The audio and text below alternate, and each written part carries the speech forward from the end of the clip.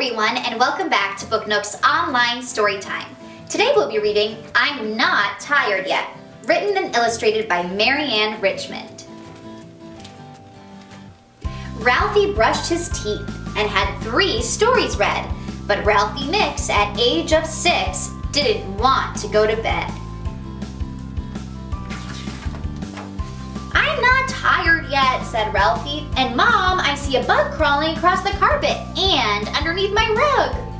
I don't think so, Ralphie, said a wary Mrs. Mix. Could it be that what you need is a fishy goldfish kiss? I think I do, said Ralphie. They put their heads together and pulled their cheeks in tight and kissed each other like two fishes looking for a bite. Better, said Ralphie. Good night, Ralphie, said Mom. Just as Ralphie's mom got up to leave his side, she looked at little Ralphie, whose eyes were growing wide. I'm not tired yet, said Ralphie. And now a monster's trying to hide behind the closet shelves. Oh gosh, he's there inside. No monster, Ralphie, said his mom, and no bug below your rug. Could it be that what you need is one big gorilla hug? I think I do, said Ralphie. They wrapped their arms around each other nice and tight and said hoo hoo hoo, like mammoth apes using all their might. That's better, said Ralphie. Good night, Ralphie, said Mom.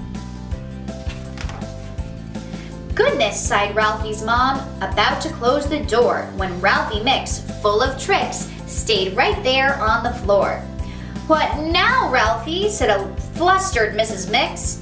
Little boys must get their sleep, especially at age six.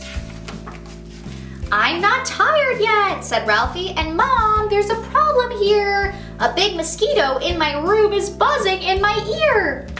Ralphie, said his mom, amused, and joined him in a huddle. Could it be that what you need is a cozy polar bear cuddle? I think I do, said Ralphie. They hugged like cuddly bears before Ralphie's last good night, growling growly growls as they held each other tight. That's better, said Ralphie. Good night, Ralphie, said Mom Do you think he's going to go to sleep yet? Thinking they were done, for sure, Ralphie's mom began to leave when Ralphie said, Oh, Mom, can I tell you something, please? I'm not tired yet, said Ralphie, and my tummy is a little sick. Can I have a glass of milk? That should do the trick. Scared and achy, said his mom. You're being mighty fickle. Could it be that what you need is a caterpillar tickle? I think I do, said Ralphie. I think he's just being silly.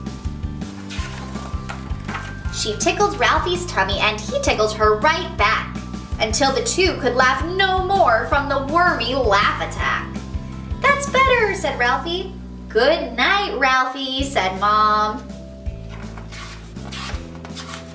Once and for all, Ralphie's mom began to tiptoe on her way, turning in her tracks to the voice that sure did say, I'm not tired yet, said Ralphie.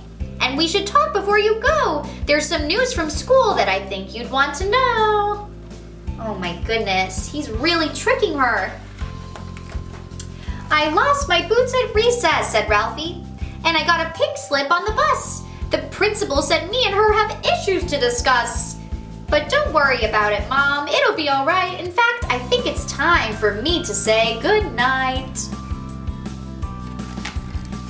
No one said a thing just then as Ralphie's mom sat still, holding back her temper and gathering her will. Mom, said Ralphie Mix, kidding you is a cinch. Could it be that what you need is one rock lobster pinch? I think I do, said Ralphie's mom. They pinch each other's arms up and down with pincher pokes. Ralphie Mix, laughed Ralphie's mom. I do not like your jokes. All right, Ralphie, said his mom, it's time for bed right now. The night is late and you must wake up for school somehow. But I'm not tired, started Ralphie, then soon didn't make a peep. Ralphie Mix, at age of six, had finally fallen asleep. The end.